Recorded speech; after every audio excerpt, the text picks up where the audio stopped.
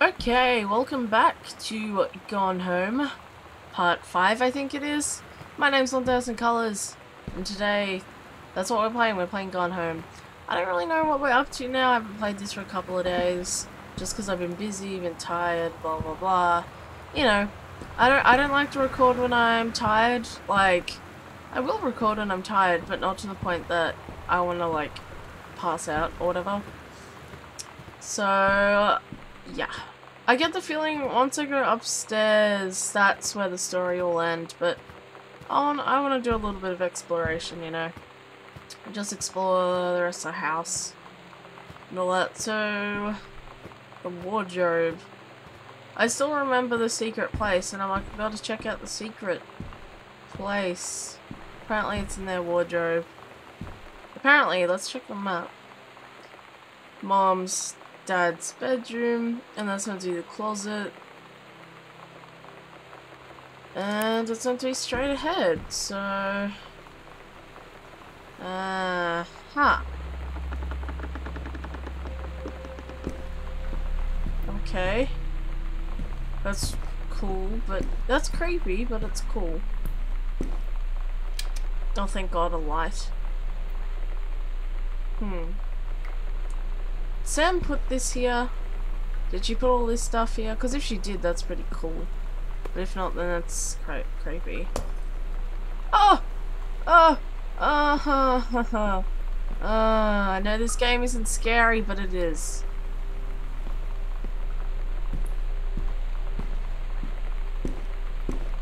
In the name of Jesus.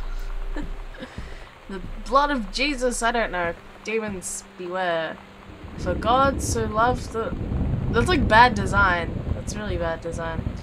For God so loved the world, he gave his only son. Did Sam put that there? She did, it's still creepy, but at least you know who put it there. Let's put it back. Put it back. I don't know what happened to my voice then. There was another little panel. Ghost Hunter's House Investigation Log. Hidden compartments found three. Library, upstairs, hall, and the foyer. Evidence of the supernatural discovered. Zero. So there's a little panel there. She took a little photo. She's smart. Thank you for making things easy, Sam.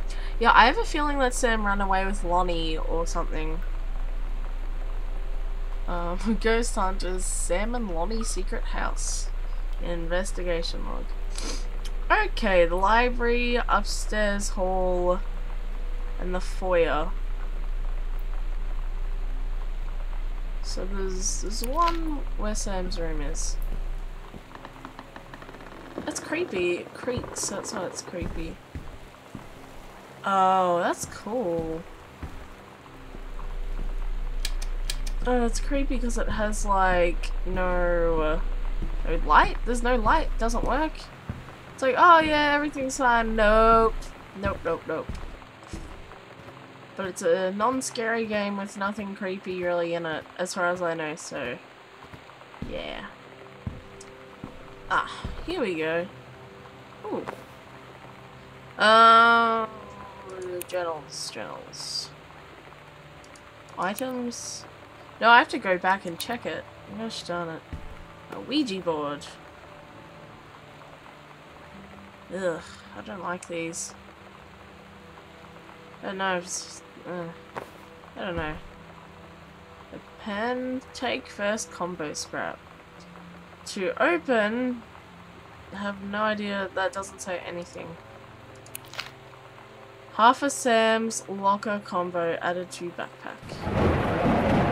Oh, that's what it is. Ah, uh, there's gotta be something in Sam's locker. It's... It's gotta be important. Huh. It looks like she just stole it from the school. Did she? Did she steal a locker from the school? Love that little story. Gross! Meow! No. Meow! I don't know. I don't know how to do cat sounds. Read note.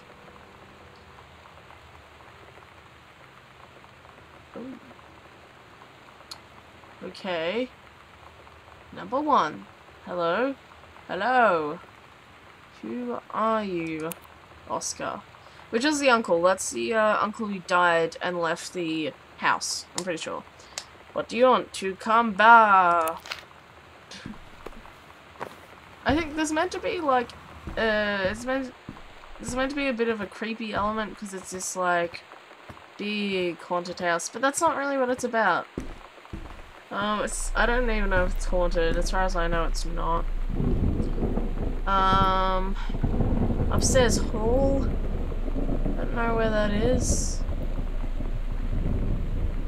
I don't know where to find that. So there's a library, it goes out somewhere, and then there's a thingamabob. Oh, I don't even know.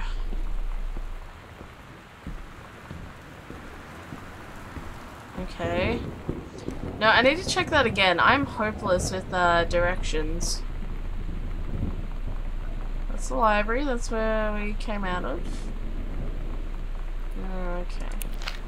Yeah, I'm really bad with directions and all of that. Like, I'm really good at navigating and all that. Like, once I've been to a place, I will most likely be able to get there again. Easily. Uh, but Otherwise, I am totally hopeless with directions. I don't know, let's feel along. Ah, here we go. I think that's a picture that she took. It was in the corner. Uh, second combos. Crap. Property of Sam. Private. Okay. We got both. Completed combination of Sam's locker Added to backpack. What's this? Why did she- uh, she must have hit it in the panel so nobody reads it. Heaven, at the edge of the word, ah, cool. Private, do not read The Green Glacier, Part 2. Samantha Greenbriar, 9th grade, blah blah blah blah blah. Yeah, it's Allegra, not Elgera. There's something wrong with it. I think this is continuing from before. I think that was from before. I don't know if it is though, but let's read it anyway. Let's read it. Okay. Allegra and her scouting party peered down warily through the dense canopy of rustling leaves from their perch high in the forest branches. That was really bad. That was dreadful. Mere feet away, sunlight shone brightly off the inner ice walls of the glacial basin in which the forest grew. It was a strange sight indeed, such lushness juxtaposed to the frigid ice formations. Allegra leapt forward without hesita he hesitation, hesitation, bounding through the high branches. The first mate had been captured by the Green Glacier's Amazon Amazon Amazonian tribe. His life hung in the balance. We have to hurry. Her party followed behind, moving quietly as a breeze through the greenery. Allegra landed to the clearing and shouted, Stop! She saw the Queen Amazonian up on her pedestal, reaching for the lever that would drop her first mate into the vat below. She said, she shouted, No!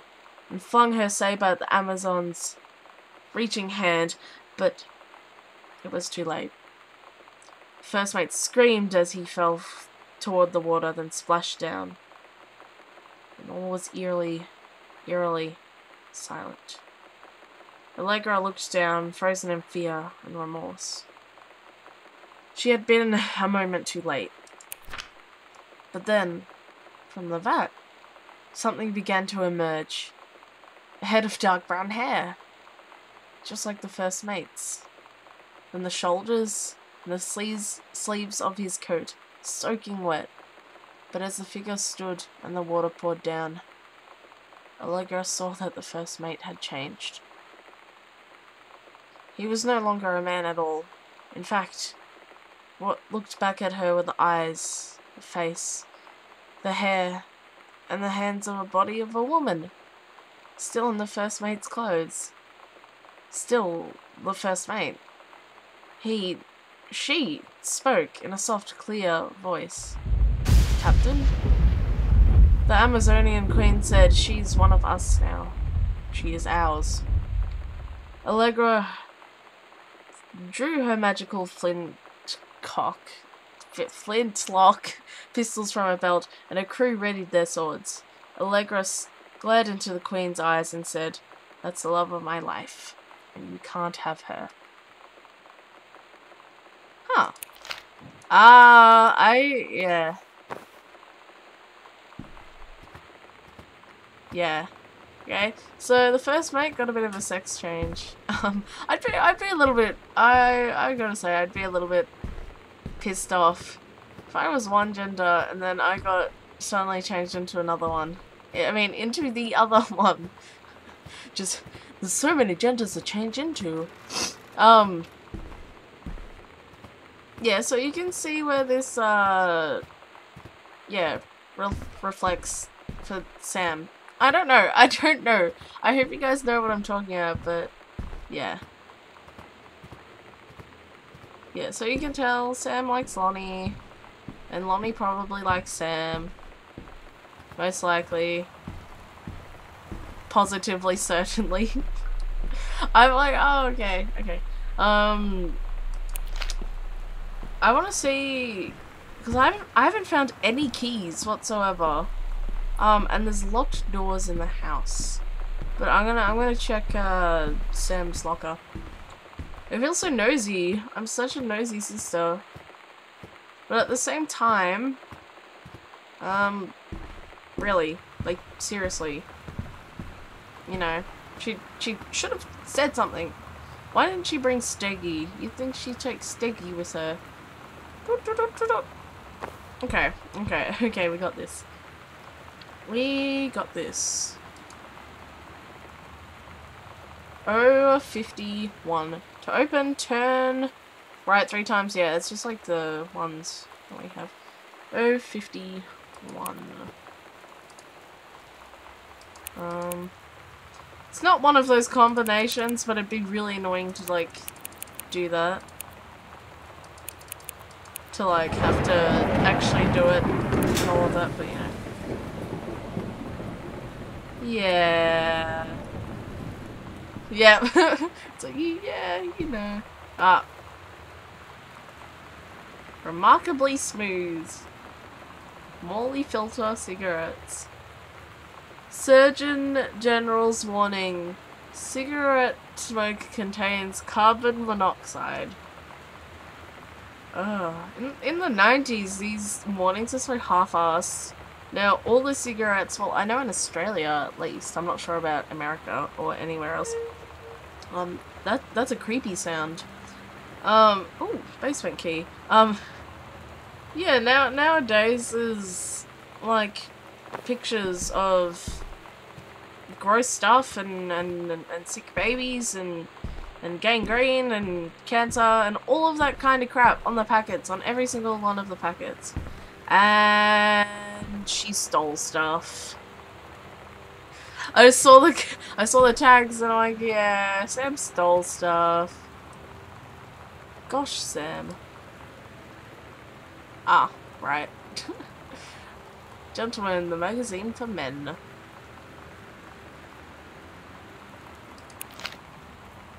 Yeah. Does that no? It doesn't turn around.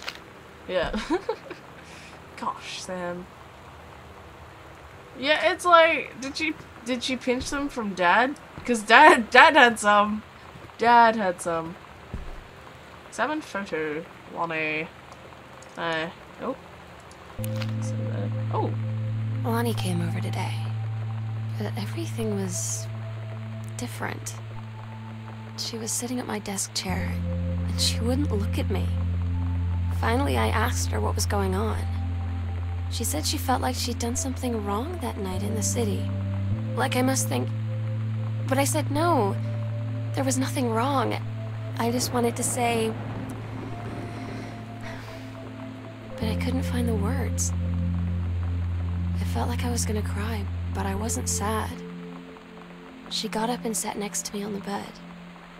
I looked at her. Lonnie,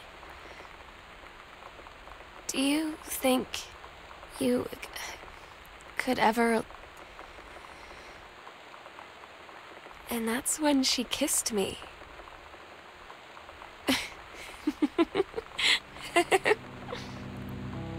Yay! Yay! I'm so happy now. I was like, oh, imagine if it was like, yeah, then I was like, I can never see you again. That would, that would suck. Yay! To the basement! Let's go. I have no idea how to get out. Oh no. Yeah, there was nothing wrong. Added to backpack. Um. Yeah, you know when I said I. Oh. Yeah. Yay! I was like, I'd be so sad if that just ended badly. Um. Uh. Uh. I don't know where the basement is.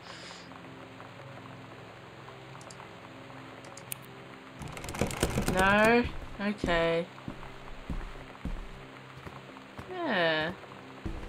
Oh, I like this story.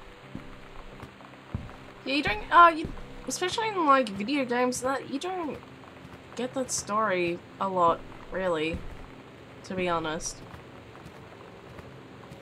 It's always between a man and a woman, whatever. Oh, I think this is the basement. Yeah, this isn't creepy. Okay, so yeah, I got a feeling she ran away with Lonnie or something. Because she's like, I don't want mom or dad or mom or dad to know. It's gross in here. But yeah. Yeah, she's like, I don't want mom or dad to know. Just fair enough. Um uh coming coming out's hard. Gotta say. But if your parents accept you, it's like one of, or and your friends and all that accept you, then it's one of the most like relieving feelings in the world. And there's a binder, a soda can, some chips with a peg thing with a fresh peg peg on it. And nobody's eaten that. Read note. a fancy man. Couldn't tell. Quite. Okay, okay, let's read it. Dear Samantha, I would like to cordially thank you for having me to your abode for the Thanksgiving holiday with your lovely family. I enjoyed the flavorful potatoes, and also it was weird being around your parents for that long, but it was pretty funny how impossible it is for your dad not to be awkward for more than 30 seconds at a time. Yours cordially. I can't read! I can't read. Yours your close friend and confidant, confident Lonnie D. That sounds that sounds like a rapper name. It's Lonnie D. Let's just let's be all neat. Put everything on the table.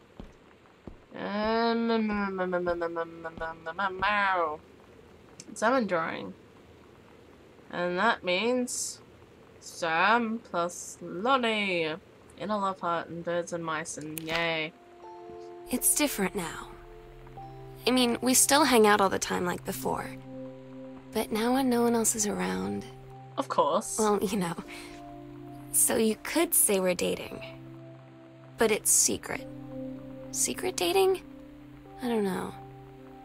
I mean, I guess that's the real difference.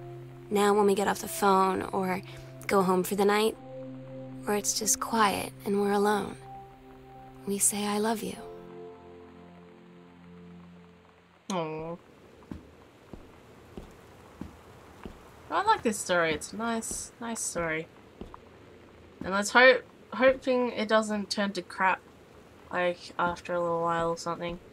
I reckon it will. Sex ed assignments. Oh, that's the one. that's one. That's the one we. Uh... Oh no, she had to re. She had to redo it. Or was this mine? No, that was mine. I actually did it. I actually did it. Um, that's actually how the menstrual cycle works. Uh, not the way that Sam wrote it. That's actually the one. That's actually how it works. And I got a tick and a plus. What is it? What does a tick and a plus mean? Shouldn't it be like an A plus or something? Oh, I don't know. Grab plaque. Oh. that, that's mine. All my stuff's in the basement. In creepy basement. K is for kind. A is for amazing. I is for intelligent. T is for talented. L is for light-hearted. I is for important. And N is for nice. Did you hear that, guys? I am nice. I got an award because I'm like the, the star student. And this place looks like it's pretty big. So, and those look like poker chips. But this looks like a pretty big place to explore, and I think our time's up for now.